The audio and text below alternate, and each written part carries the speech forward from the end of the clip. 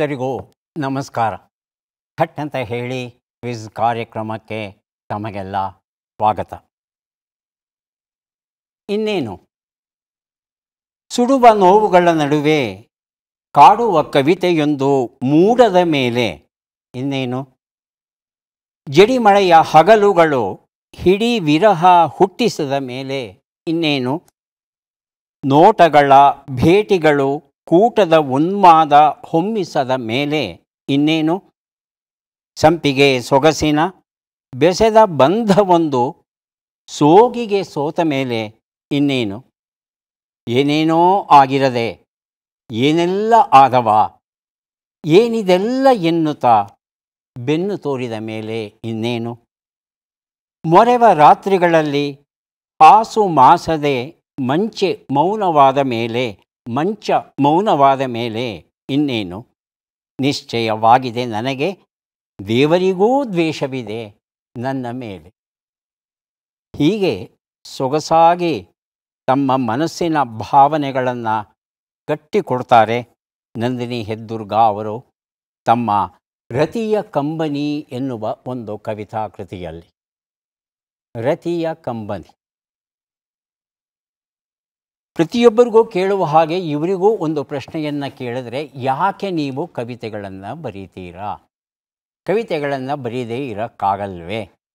ಕವಿತೆಗಳನ್ನು ಬರೆಯಲೇಬೇಕು ಅನ್ನೋ ಒತ್ತಡ ನಿಮಗೆ ಹೇಗೆ ಮೂಡುತ್ತೆ ಅಂತ ಕೇಳಿದಾಗ ನಂದಿನಿಯವರು ಹೇಳ್ತಾರೆ, ಎಲ್ಲವೂ ಸರಿ ಇದ್ದಿದ್ದರೆ ನಾನು ಇನ್ನೇನೋ ಆಗುತ್ತಿದ್ದೆ ಎಂದುಕೊಳ್ಳುವ ಹೊತ್ತಿನಲ್ಲೇ, ಸರಿ ಇಲ್ಲದ ಎಲ್ಲವೂ ಎದೆಯೊಳಗೆ ಹದವಾಗಿ ಕುದಿ ಬಂದು ಇನ್ನು ತಾಳಲಾರೆ ಎನ್ನುವಾಗೆಲ್ಲ ಉಕ್ಕುತ್ತದೆ.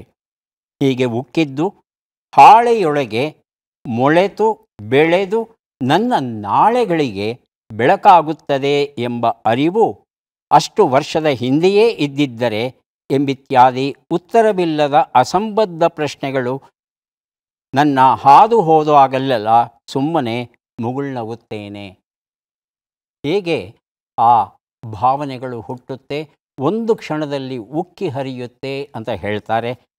ಈ ಒಂದು ಸುಮಾರು ನೂರ ಐವತ್ತು ಪುಟಗಳ ಈ ಕವನ ಸಂಕಲನದಲ್ಲಿ ಅವರು ಬರೆಯೋದು ಪ್ರಥಮವಾಗಿ, ಮುಖ್ಯವಾಗಿ ಪ್ರೇಮ, ವಿರಹ, ವ್ಯಾಮೋಹ ಮತ್ತು ಕಾಮವನ್ನು ಕುರಿತು ಬರೀತಾರೆ.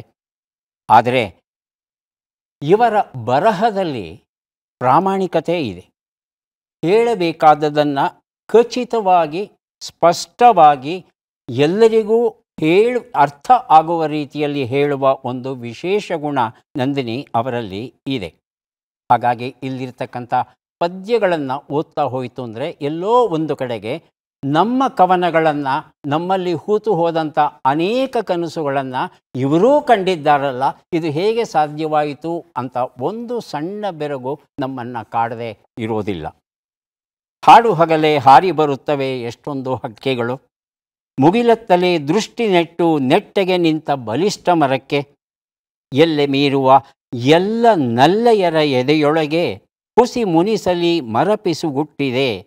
ಇರುಳು ಇಳಿಯುವ ವೇಳೆಗೆ, ಇಲ್ಲೇ ಬನ್ನಿ, ಅಡ್ಡಿ ಇಲ್ಲ, ಹಾರಾಡಿಕೊಂಡಿರಿ, ಆಚೆ ಈಗ. ಮಾತು ಮೀರುವ ಹಕ್ಕಿಗಳು ಕೇಳಲೇ ಇಲ್ಲವೆಂಬಂತೆ ಎಲೆ ಕಿತ್ತವು ಹೂವು ಕುಡಿದವು, ದೋರೆಗಾಯಿ ಕುರುಕಿ, ಹಣ್ಣ ಮುಕ್ಕಿ, ಅಕ್ಕಪಕ್ಕ ನೋಡಿ ಹಿಕ್ಕೆ ಚೆಲ್ಲಿ ಪುಕ್ಕ ಬಿಚ್ಚಿ ಸಾರಿ ಹೋಗುತ್ತವೆ.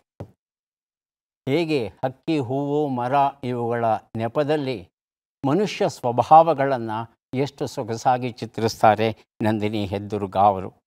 ರತಿಯ ಕಂಬನಿ, ಕವಿತಾ ಸಂಕಲನ, ಸೊಗಸಾದ ಕೃತಿ, ಖಂಡಿತ ಒಮ್ಮೆ ಓದೋಣ. ಕಾರ್ಯಕ್ರಮವನ್ನು ಆರಂಭಿಸ್ತಾ ಇದ್ದೇವೆ. ಸ್ಪರ್ಧಿಗಳ ಪರಿಚಯ. ಮೊದಲ ಸ್ಪರ್ಧಿ. ಎಲ್ಲರಿಗೂ ನಮಸ್ಕಾರ. ನನ್ನ ಹೆಸರು ಮಧುರಾ ಬೇವಿ. ನಾನು ಮಂಡ್ಯ ಜಿಲ್ಲೆ ಕೆ ಆರ್ ಪೇಟೆ ತಾಲೂಕು ಬುಕ್ಕನ್ಕೆರೆಯಿಂದ ಬಂದಿದ್ದೀನಿ. ನನ್ನ ಹವ್ಯಾಸಗಳು ದಿನಪತ್ರಿಕೆಗಳನ್ನು ಓದುವುದು ಸಣ್ಣ ಕವನಗಳನ್ನು ಬರೆಯುವುದು ಮಧುರಾ ಅವರಿಗೆ ಸ್ವಾಗತವನ್ನು ಕೋರ್ತಾ ಇದ್ದೇವೆ. ಮುಂದಿನ ಸ್ಪರ್ಧಿ. ನಮಸ್ಕಾರ. ನನ್ನ ಹೆಸರು ಅಲ್ಲಾ ಬಕ್ಷ್. ನಾನು ಶ್ರೀ ಚಕ್ರನಗರ ಬೆಂಗಳೂರಿಂದ ಬಂದಿದ್ದೇನೆ. ನಾನು R V metropolis under citizen skin ಕ್ಲಿನಿಕಲ್ಲಿ ಕೆಲಸ ಮಾಡುತ್ತೇನೆ. ನನ್ನ ಹವ್ಯಾಸ ಪುಸ್ತಕ ಓದುವುದು ದಿನಪತ್ರಿಕೆ ಓದುವುದು ಮತ್ತು ಸಂಗೀತ ಕೇಳುವುದು. ಅಲ್ಲ ಅಬಕ್ಷ ಅವರಿಗೆ ಸ್ವಾಗತವನ್ನು ಕೋರ್ತಾ ಇದ್ದೇವೆ. ನಮ್ಮ ಮೂರನೆಯ ಸ್ಪರ್ಧೆ. ಎಲ್ಲರಿಗೂ ನನ್ನ ನಮಸ್ಕಾರಗಳು. ನನ್ನ ಹೆಸರು ಸ್ವಾತಿ. ನಾನು ಬೆಂಗಳೂರಿನ ವಿಜಯನಗರದಿಂದ ಬಂದಿದ್ದೇನೆ. ನಾನು ಆರ್ ಪಿ ಎ ಕಾಲೇಜಿನಲ್ಲಿ ಅಸಿಸ್ಟೆಂಟ್ ಪ್ರೊಫೆಸರ್ ಆಗಿ ಕಾರ್ಯನಿರ್ವಹಿಸುತ್ತಿದ್ದೇನೆ. ನನ್ನ ಹವ್ಯಾಸ ಶಾಸ್ತ್ರೀಯ ಸಂಗೀತ ಹಾಡುವುದು ಭರತನಾಟ್ಯ ಮಾಡುವುದು ಹಾಗೂ ತಟ್ಟಂತ ಹೇಳಿ ಕಾರ್ಯಕ್ರಮವನ್ನು ತಪ್ಪದೆ ವೀಕ್ಷಿಸಿ. ಸ್ವಾತಿ ಅವರಿಗೆ ಸ್ವಾಗತವನ್ನು ಕೋರ್ತಾ ಇದ್ದೇವೆ. ಮೂವರು ಸಿದ್ಧವಾಗಿದ್ದರೆ ಕಾರ್ಯಕ್ರಮ ಆರಂಭಿಸೋಣ. ಮೊದಲಿಗೆ ನಿಯಮಗಳನ್ನು ಒಮ್ಮೆ ನೋಡಿಬಿಡೋಣ. ಒಟ್ಟು ಹತ್ತು ಪ್ರಶ್ನೆಗಳು. ಮೊದಲು ಬಜರ್ ಒತ್ತಿದವರಿಗೆ ಉತ್ತರ ನೀಡುವ ಅವಕಾಶ. ಪ್ರತಿ ಸರಿ ಉತ್ತರಕ್ಕೆ ಒಂದು ಪುಸ್ತಕ ಬಹುಮಾನ. ಆಯ್ಕೆಗಳು ಬರುವ ಮೊದಲೇ ಬಜರ್ ಒತ್ತಿ ಸರಿ ಉತ್ತರ ನೀಡಿದರೆ ಎರಡು ಪುಸ್ತಕ ಬಹುಮಾನ. ನೂರು ಅಂಕ ಗಳಿಸಿದವರಿಗೆ ಒಂದು ಪುಸ್ತಕ ವಿಶೇಷ ಬಹುಮಾನ ನಕಾರಾತ್ಮಕ ತಂತ್ರಗಳಿಗೆ ಅವಕಾಶವಿಲ್ಲ. ಇಂದಿನ ಕಾರ್ಯಕ್ರಮದ ಮೊದಲ ಪುಸ್ತಕ, ಮೊದಲ ಪ್ರಶ್ನೆ, ಬೆವರ ಹನಿಗಳು. ಕೆ. ಮಲ್ಲಿನಾಥ್ ಕೆ ಎಸ್ ನಿವೃತ್ತ ಅಧಿಕಾರಿ ಬರೆದಿರುವಂಥ ಅನುಭವ ಕಥನ. ಮೊದಲ ಪ್ರಶ್ನೆ ಈಗ ಬಂತು. Youth for Unnati and Vikas with A I, U Y ಯಾವ ಸಂಸ್ಥೆಯ ಜೊತೆಗೂಡಿ ನಮ್ಮ ವಿದ್ಯಾರ್ಥಿಗಳನ್ನು ಕೃತಕ ಬುದ್ಧಿಮತ್ತೆಯಲ್ಲಿ ತರಬೇತಿಯನ್ನು ನೀಡಲಿದೆ? ಆಯ್ಕೆಗಳನ್ನು ನೋಡೋಣ.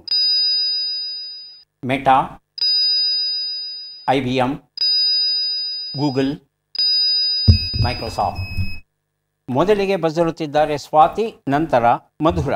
Option B I B M I B M ಅಂತ ಹೇಳ್ತಾ ಇದ್ದಾರೆ Mathura I B M I B M ಉತ್ತರವನ್ನು ನೋಡೋಣ. ಆದರೆ ಸರಿಯಾದ ಉತ್ತರ ಮೆಟಾ ಆಗಿತ್ತು. ಎಂಟರಿಂದ ಹನ್ನೆರಡನೇ ತರಗತಿಯ ವಿದ್ಯಾರ್ಥಿಗಳು ಯಾರಿದ್ದಾರೆ? ಅವರಿಗೆ ಈ ಕೃತಕ ಬುದ್ಧಿಮತ್ತೆ ಆರ್ಟಿಫಿಷಿಯಲ್ ಇಂಟೆಲಿಜೆನ್ಸ್ ಅಂದರೆ ಏನು?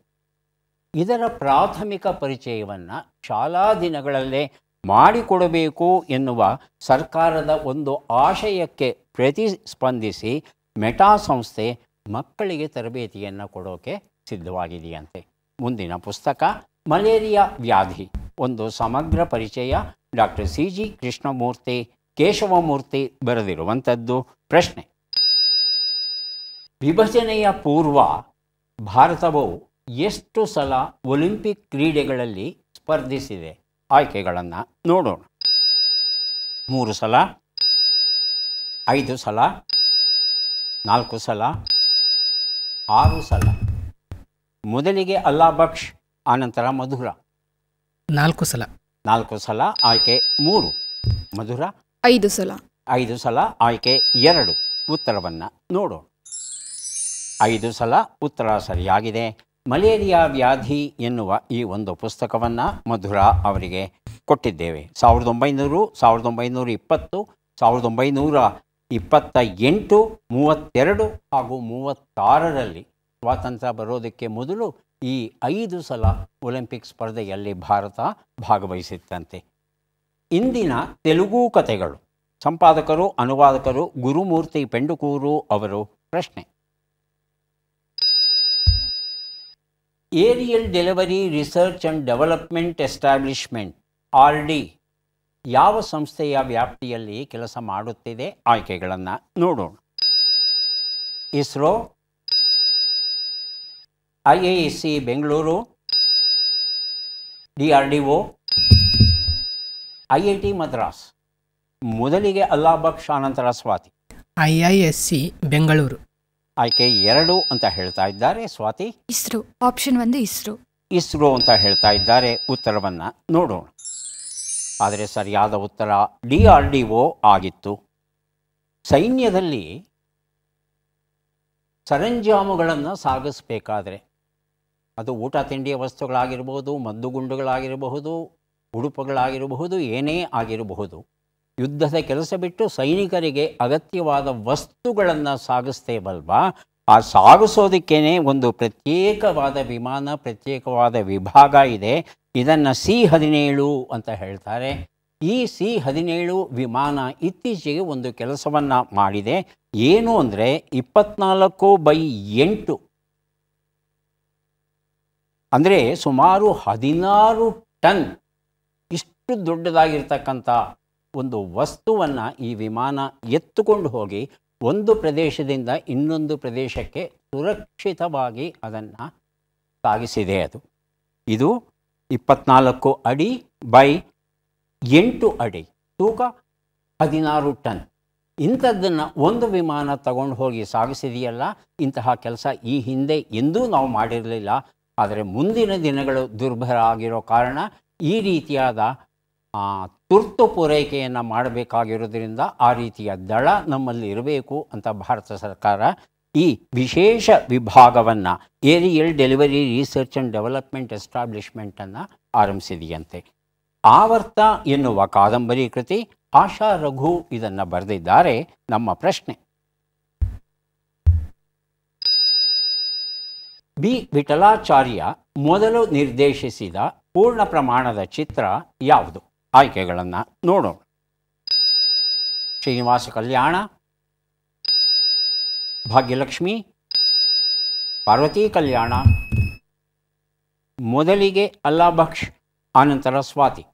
ಶ್ರೀನಿವಾಸ ಕಲ್ಯಾಣ. ಶ್ರೀನಿವಾಸ ಕಲ್ಯಾಣ ಆಯ್ಕೆ ಒಂದು ಸ್ವಾತಿ. ಭಾಗ್ಯಲಕ್ಷ್ಮಿ. ಭಾಗ್ಯಲಕ್ಷ್ಮಿ ಅಂತ ಹೇಳ್ತಾ ಇದ್ದಾರೆ. ಆಯ್ಕೆ ನಾಲ್ಕನ್ನು ನೋಡೋಣ. ಸೌಭಾಗ್ಯಲಕ್ಷ್ಮಿ. ಉತ್ತರವನ್ನು ನೋಡೋಣ. ಉತ್ತರ ಸೌಭಾಗ್ಯಲಕ್ಷ್ಮಿ. ಆಗಿತ್ತು. ಈ ಉತ್ತರವನ್ನು ಯಾರೂ ಕೊಟ್ಟಿಲ್ಲ. ಸಾವಿರದ ಒಂಬೈನೂರ ಐವತ್ತ ಎರಡರಲ್ಲಿ ಶ್ರೀನಿವಾಸ ಕಲ್ಯಾಣ ಚಿತ್ರವನ್ನು ನಿರ್ಮಿಸ್ತಾರೆ. ಜೊತೆಗೆ ನಿರ್ದೇಶನ ಮಾಡ್ತಾರೆ. ಆದರೆ ನಿರ್ದೇಶನ ಮಾಡಬೇಕಾದ್ರೆ ವಿಠಲಾಚಾರ್ಯ ಅವರ ಜೊತೆ ಶಂಕರ್ ಸಿಂಗೂ ಸಹ ಸೇರಿಕೊಂಡಿರ್ತಾರೆ. ಇಬ್ಬರು ಸೇರಿ ಚಿತ್ರವನ್ನು ನಿರ್ದೇಶನ ಮಾಡಿರ್ತಾರೆ. ಆದರೆ ಸ್ವತಂತ್ರವಾಗಿ ಮೊದಲ ಬಾರಿಗೆ ಪೂರ್ಣ ಪ್ರಮಾಣದ ಚಿತ್ರವನ್ನು ನಿರ್ದೇಶನ ಮಾಡಿದ್ದು ಸೌಭಾಗ್ಯಲಕ್ಷ್ಮಿ. ಆ ನಂತರ ಅವರು ತೆಲುಗು ಚಿತ್ರರಂಗಕ್ಕೆ ಹೋಗ್ತಾರೆ. ಶೃಂಗಾರ ಚೈತ್ರ ಕಾವ್ಯ. ಮಧುರ ಪ್ರಿಯ ಬರೆದಂತಹ ಪುಸ್ತಕ ಇದು. ಪ್ರಶ್ನೆ. ಬಿಟ್ಟ ಅಕ್ಷರಗಳನ್ನು ತುಂಬಿ. ಬಿ. ಪು. ಗೋ. ಗು. ಟ ಪ್ರಶ್ನೆಯನ್ನು ಓದಿ ಮುಗಿಸೋಷ್ಟರಲ್ಲಿ ಮಧುರ ಮತ್ತು ಅಲ್ಲಾಭಕ್ಷ್ ಇಬ್ರು ಬಜರುತ್ತಿದ್ದಾರೆ. ಮಧುರ. ಬಿಜಾಪುರದ ಗೋಳಗುಮ್ಮಟ ಬಿಜಾಪುರದ ಗೋಳಗುಮ್ಮಟ ಹೌದಾ ಅಲ್ಲಾಭಕ್ಷ್ ಹಾಂ ಸರ್ ಬಿಜಾಪುರದ. ಗೋಳಗುಮ್ಮಟ ಉತ್ತರವನ್ನು ನೋಡು ಬಿಜಾಪುರದ ಗೋಳಗುಮ್ಮಟ ಉತ್ತರ ಸರಿಯಾಗಿದೆ. ಶೃಂಗಾರ ಚೈತ್ರ ಕಾವ್ಯ ಎನ್ನುವ ಈ ಒಂದು ಪುಸ್ತಕವನ್ನು ಮಧುರ ಅವರಿಗೆ ಕೊಟ್ಟಿದ್ದೇನೆ. ಈಗ ಕೊಡಲಿದ್ದೇವೆ ಬೆಳಕಿಲ್ಲದ ದಾರಿ, ಕನಸಿಲ್ಲದ ಹಾದಿ ಎನ್ನುವ ಪುಸ್ತಕ. ಸಂಪಾದಕರು ಸಿರಿಗೇರಿ ಯರಿ ಸ್ವಾಮಿ ನಮ್ಮ ಪ್ರಶ್ನೆ. ಈ ಕೆಳಗಿನ ಲೆಕ್ಕಗಳನ್ನು ಪೂರ್ಣಗೊಳಿಸಿ ಉತ್ತರಗಳನ್ನೆಲ್ಲ ಕೂಡಿ ಅಂತಿಮ ಉತ್ತರವನ್ನು ನೀಡಿ. ಲೆಕ್ಕಗಳು ಎಪ್ಪತ್ತೈದು ಕೂಡು ಅರವತ್ತೊಂಬತ್ತು ಎಪ್ಪತ್ತೆಂಟು ಕಳೆ ಇಪ್ಪತ್ತೆಂಟು ಹನ್ನೆರಡು ಗುಣಿಸು ಹದಿನೆಂಟು ನೂರ ಎಂಬತ್ತೊಂಬತ್ತು ಭಾಗಿಸು ಒಂಬತ್ತು.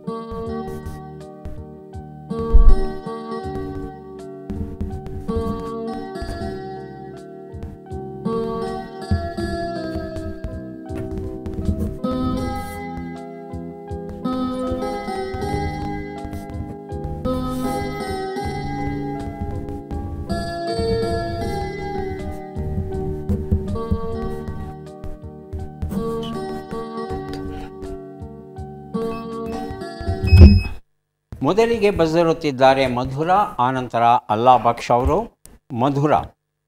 ನಾನ್ನೂರ ಇಪ್ಪತ್ತಾರು. ನಾಲ್ಕು ಎರಡು ಆರು. ಅಲ್ಲಾಬಕ್ಷ್ ಅಲ್ಲಾ ಬಕ್ಷ್? ನಾನ್ನೂರ ಮೂವತ್ತೊಂದು. ನಾಲ್ಕು ಮೂರು ಒಂದು. ಸ್ವಾತಿ? ನಾಲ್ಕು ಮೂರು ಒಂದು. ಉತ್ತರವನ್ನು ನೋಡೋಣ. ಒಂದು ಉತ್ತರ. ನೂರ ನಲವತ್ತ ನಾಲ್ಕು ಐವತ್ತು. ಇನ್ನೂರ ಹದಿನಾರು ಇಪ್ಪತ್ತೊಂದು.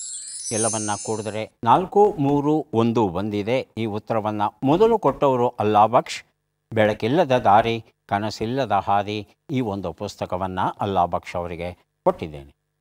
ಹೋರಾಟದ ಒಂದು ನೋಟ, ಶ್ರೀಮತಿ ಸಿದ್ದಮ್ಮ ಮಹದೇವಪ್ಪ ಮೈಲಾರ ಅವರ ಬದುಕು ಬರಹದ ಪರಿಚಯ ಮಾಡುವ ಕೃತಿ ಸಂಕಮ್ಮ ಜಿ ಸಂಕಣ್ಣನವರ್ ಇದನ್ನು ಬರೆದಿದ್ದಾರೆ ಪ್ರಶ್ನೆ. ಪ್ರಸ್ತುತ ಈ ಮಂತ್ರಿಗಳು ಯಾವ ಖಾತೆಯನ್ನು ನಿರ್ವಹಿಸುತ್ತಿಲ್ಲ ಅಂತ ಹೇಳಬೇಕಾಗಿದೆ ಚಿತ್ರವನ್ನು ನೋಡೋಣ.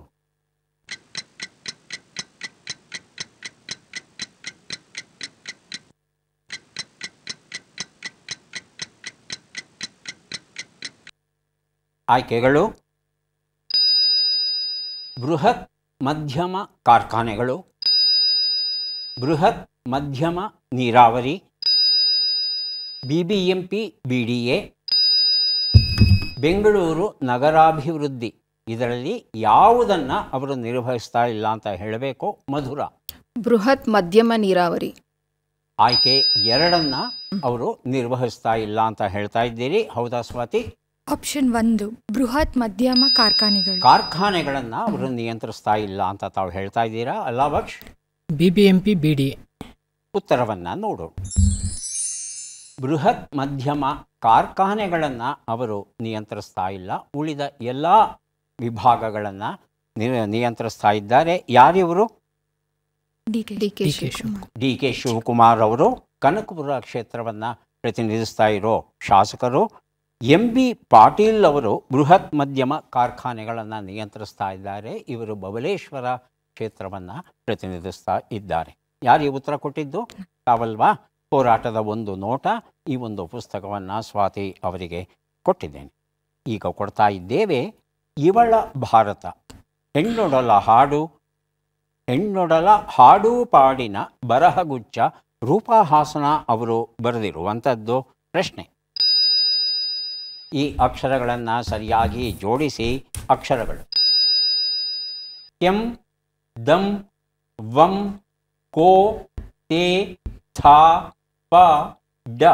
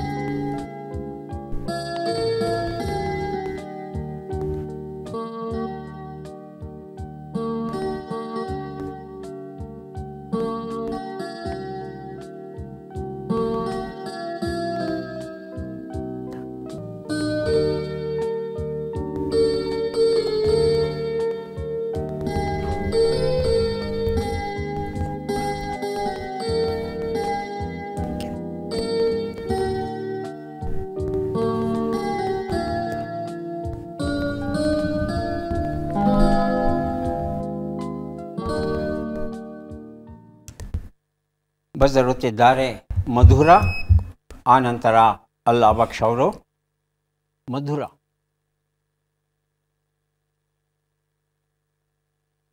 ಅಂತ ಉತ್ತರ ಕೊಡಬೇಕು. ಕಷ್ಟ ಆಗ್ತಾ ಇದೆಯಾ? ಹೊಳಿತಾ ಇಲ್ವಾ? ಅಲ್ಲ ಬಕ್ಷ್ ಕೋಪ ಕೆಂಡದಂತೆ. ಕೋಪ ಕೆಂಡದಂತೆ ಅಂದರೆ ಎಂಟಕ್ಷರ ಆಗಲಿಲ್ಲ. ಆರೇ ಅಕ್ಷ ಆಯಿತು. ಇನ್ನೂ ಎರಡು ಅಕ್ಷರ ಬೇಕಾಗುತ್ತೆ. ಹಾಂ ಸ್ವಾತಿ? ಕೆಂಟದಂತೆ ಕೋಪವಂತ. ಕೆಂಡದಂತೆ ಕೋಪವಂತ. ಕೋಪ ಬಂತ. ಬಮ್ ಬಂತ. ಎಲ್ಲಿದೆ? ವಂತ. ಬಾ. ಬಾ ವ ವಂತ.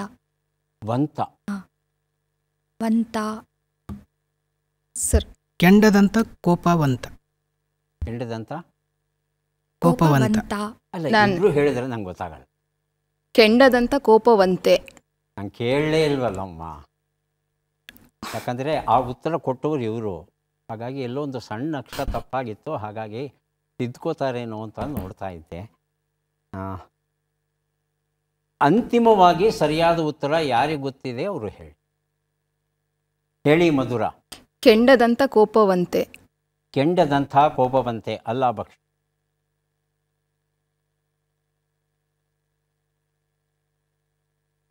ಸ್ವಾತಿ. ಕೆಂಡದಂತ ಕೋಪವಂತೆ. ಕೆಂಡದಂತ ಕೋಪವಂತೆ. ಕೋಪವಂತೆ. ಯಾಕೋ ಗೊಂದಲ ಆಯ್ತು ಅಲ್ಲ ಭಕ್ತರು. ಉತ್ತರವನ್ನು ನೋಡೋಣ.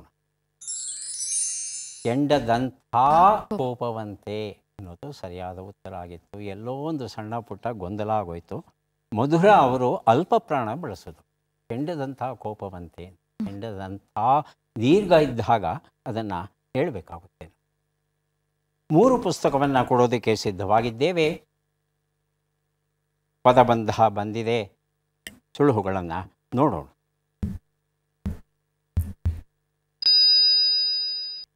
ಮಂಗಳೂರಿನ ಮೀನು ದೊಡ್ಡ ಮನೆ ಸೌಧ, ನ್ಯಾಯಾಲಯದ ಆಜ್ಞೆ ಜಾರಿಗೊಳಿಸುವವನು.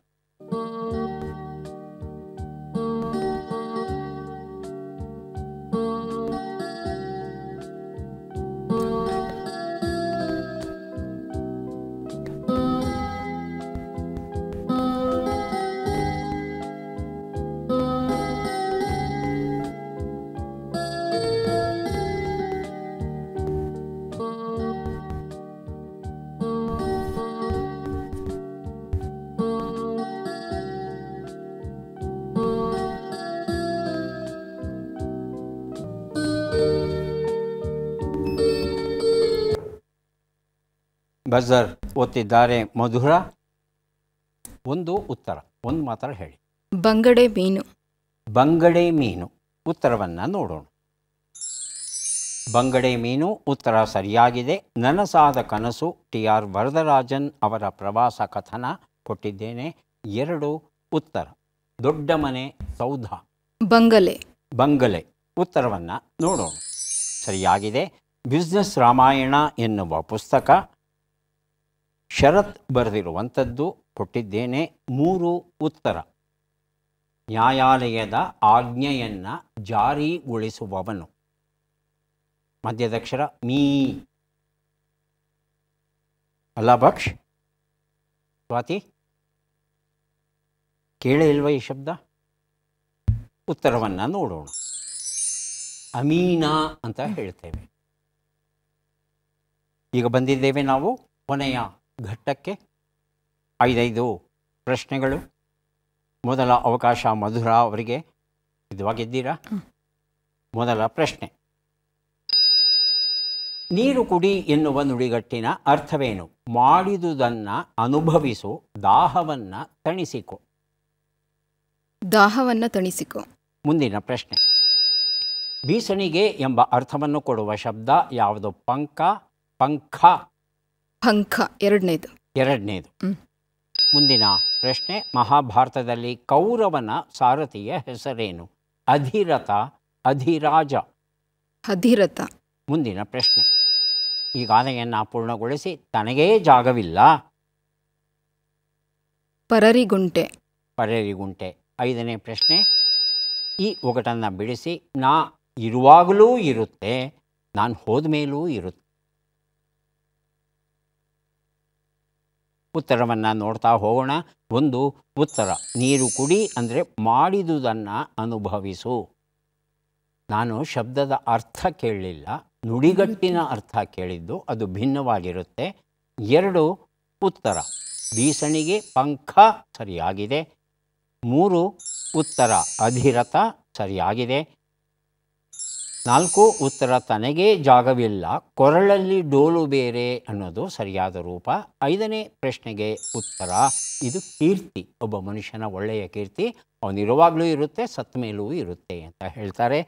ಎರಡು ಪ್ರಶ್ನೆಗೆ ತಾವು ಸರಿಯಾದ ಉತ್ತರವನ್ನು ಕೊಟ್ಟಿದ್ದೀರಾ? ಹಾಗಾಗಿ ಎರಡು ಪುಸ್ತಕಗಳನ್ನು ತಮಗೆ ಕೊಡ್ತಾ ಇದ್ದೇವೆ. ಈಗ ಅವಕಾಶ ಬರ್ತಾ ಇದೆ. ಅಲ್ಲಾ ಬಕ್ಷ ಅವರಿಗೆ ಸಿದ್ಧವಾಗಿದ್ದೀರಾ? ಮೊದಲ ಪ್ರಶ್ನೆ. ನೀರು ಕುಡಿದ ಹಾಗೆ ಎನ್ನುವ ನುಡಿಗಟ್ಟಿನ ಅರ್ಥವೇನು? ಸುಲಭವಾದದು ದಾಹವನ್ನು ಅಡಗಿಸು. ಸುಲಭವಾದದ್ದು. ಮುಂದಿನ ಪ್ರಶ್ನೆ. ಟಿಸಿಲು ಕವಲು ಎಂಬ ಅರ್ಥವನ್ನು ಕೊಡುವ ಶಬ್ದ ಯಾವುದು? ಪಂಗು ಪಾಂಗು? ಪಂಗು. ಮುಂದಿನ ಪ್ರಶ್ನೆ. ಮಹಾಭಾರತದಲ್ಲಿ ಶತ್ರುಂತಪ ಧ್ರುವ ಮೃತರಥ ಶತ್ರುಂಜಯ ವಿಪಾಠ ಇವರು ಯಾರ ಮಲ ಸಹೋದರರು? ಕರ್ಣ ದುರ್ಯೋಧನ. ದುರ್ಯೋಧನ. ಮುಂದಿನ ಪ್ರಶ್ನೆ. ಈ ಗಾದೆಯನ್ನ ಪೂರ್ಣಗೊಳಿಸಿ ತಾನು ಕಳ್ಳ. ಮುಂದಿನ ಪ್ರಶ್ನೆ. ಈ ಉಗಟನ್ನು ಬಿಡಿಸಿ ಹಾಲು ಸಮುದ್ರದ ಕಪ್ಪು ಲಿಂಗದ ಮೇಲೆ ಒಂದು ಛತ್ರಿ.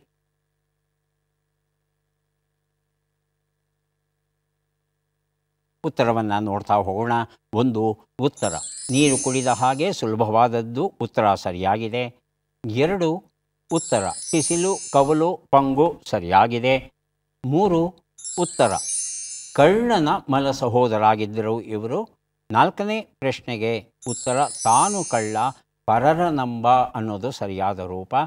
ಐದನೇ ಪ್ರಶ್ನೆಗೆ ಉತ್ತರ. ಇದು ಕಣ್ಣಾಗಿತ್ತು. ಎರಡು ಪ್ರಶ್ನೆಗಳಿಗೆ ತಾವು ಸರಿಯಾದ ಉತ್ತರ ಕೊಟ್ಟಿದ್ದೀರಿ. ಹಾಗಾಗಿ ಎರಡು ಪುಸ್ತಕಗಳನ್ನು ತಮಗೆ ಕೊಡ್ತಾ ಇದ್ದೇವೆ. ಈಗ ಅವಕಾಶ ವಾತಿ ಅವರಿಗೆ ಬರ್ತಾ ಇದೆ. ಸಿದ್ಧವಾಗಿದ್ದೀರಾ? ಮೊದಲ ಪ್ರಶ್ನೆ. ನೀರು ಕುಡಿದು ನಿಗಿತುಕೊಳ್ಳು ಎನ್ನುವ ನುಡಿಗಟ್ಟಿನ ಅರ್ಥವೇನು? ಕಷ್ಟಪಟ್ಟು ಸಾಯು ನೀರಿನಲ್ಲಿ ಮುಳುಗಿ ಸಾಯು. ಕಷ್ಟಪಟ್ಟು ಸಾಯು. ಮುಂದಿನ ಪ್ರಶ್ನೆ. ಮೋಸ ವಂಚನೆ ಎಂಬ ಅರ್ಥವನ್ನು ಕೊಡುವ ಶಬ್ದ ಯಾವುದು? ಪಂಗನಾಮ ಶ್ರೀನಾಮ. ಪಂಗನಾಮ. ಮುಂದಿನ ಪ್ರಶ್ನೆ. ಮಹಾಭಾರತದಲ್ಲಿ ಕೃಷ್ಣನಿಂದ ಹತನಾದ ದಂತವಕ್ರ ಯಾವ ರಾಜ್ಯದ ಅರಸನಾಗಿದ್ದ? ಅಧಿರಾಜ ಅದೃಶ್ಯ ರಾಜ. ಅಧಿರಾಜ. ಮುಂದಿನ ಪ್ರಶ್ನೆ. ಈ ಗಾದೆಯನ್ನ ಪೂರ್ಣಗೊಳಿಸಿ ತಾನೂ ತಿನ್ನ. ಬೇರೆ ಪರರಿಗೂ ಕೊಡಲಾರ. ಪರರಿಗೂ ಕೊಡಲಾರ. ಐದನೇ ಪ್ರಶ್ನೆ. ಈ ಒಗಟನ್ನು ಬಿಡಿಸಿ ಹೊಲದಲ್ಲಿ ಬೆಳೆಯೋದಲ್ಲ ತಕ್ಕಡಿಲಿ ಇಟ್ಟು ತೂಗೋದಲ್ಲ ಇದಿಲ್ಲದೆ ಹಬ್ಬಾನೇ ನಡೆಯೋಲ್ಲ. ಬಾಳೆ ಎಲೆ? ಬಾಳೆ ಎಲೆ. ದುಡ್ಡು ಕೊಟ್ಟು ಕೊಂಡ್ಕೋಬೇಕಮ್ಮ ಬಾಳೆ ಎಲೆ ಯಾರೂ ಉಚಿತ ಕೊಡಲ್ಲ. ಒಂದು ಉತ್ತರ. ನೀರು ಕುಡಿದು ನೆಗೆದುಕೊಳ್ಳು, ಕಷ್ಟಪಟ್ಟು ಸಾಯೋ ಉತ್ತರ ಸರಿಯಾಗಿದೆ. ಎರಡು ಉತ್ತರ. ಮೋಸ, ವಂಚನೆ, ಪಂಗನಾಮ ಸರಿಯಾಗಿದೆ. ಮೂರು ಉತ್ತರ. ಅಧಿರಾಜ, ಇವತ್ತಿನ ಗ್ವಾಲಿಯರ್ ಸರಿಯಾಗಿದೆ. ನಾಲ್ಕು ಉತ್ತರ. ತಾನೂ ತಿನ್ನ, ಪರರಿಗೂ ಕೂಡ ಪರರಿಗೂ ತಿನ್ನಲು ಬಿಡೋಲ್ಲ. ಪರವಾಗಿಲ್ಲ. ಉತ್ತರ ಸರಿ ಅಂತ ಸ್ವೀಕರಿಸೋಣ. ಐದನೇ ಪ್ರಶ್ನೆಗೆ ಉತ್ತರ ಸಗಣಿ. ಆಗಿ ಎಷ್ಟು ಸರಿ ಉತ್ತರ ಕೊಟ್ರಿ? ನಾಲ್ಕು. ನಾಲ್ಕು ಸರಿ ಉತ್ತರ ಕೊಟ್ಟಿದ್ದೀರಿ. ನಾಲ್ಕು ಪುಸ್ತಕಗಳನ್ನು ತಮಗೆ ಕೊಡ್ತಾ ಇದ್ದೇವೆ. ಈಗ ಯಾರಿಗೆ ಎಷ್ಟು ಪುಸ್ತಕ ಬಂದಿದೆ ಅದನ್ನು ನೋಡುವ ಕ್ಷಣ ಬರ್ತಾ ಇದೆ. ಮೊದಲು ಮಧುರಾ ಅವರಿಗೆ ನಾವು ಕೊಡ್ತಾ ಇದ್ದೇವೆ. ಮೂರು ಮೂರು ಆರು ಪುಸ್ತಕಗಳನ್ನು ಕೊಡ್ತಾ ಇದ್ದೇವೆ. ದಯವಿಟ್ಟು ಪುಸ್ತಕ ಸ್ವೀಕರಿಸಿ. ಕಾರ್ಯಕ್ರಮದಲ್ಲಿ ಭಾಗವಹಿಸಿದ್ದಕ್ಕೆ ತಮಗೆ ಧನ್ಯವಾದಗಳನ್ನು ಅರ್ಪಿಸ್ತಾ ಇದ್ದೇವೆ. ಧನ್ಯವಾದಗಳು. ಅಲ್ಲಾ ಬಕ್ಷ್ ಅವರಿಗೆ ಮೂರು ಪುಸ್ತಕ ಸಿಗ್ತಾ ಇದೆ. ಸ್ವೀಕರಿಸಿ. ಅಭಿನಂದನೆಗಳು.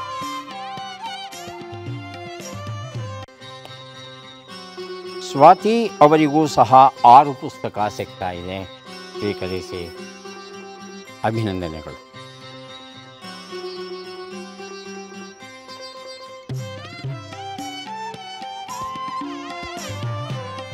ಮತ್ತೆ ಭೇಟಿಯಾಗೋಣ ನಮಸ್ಕಾರ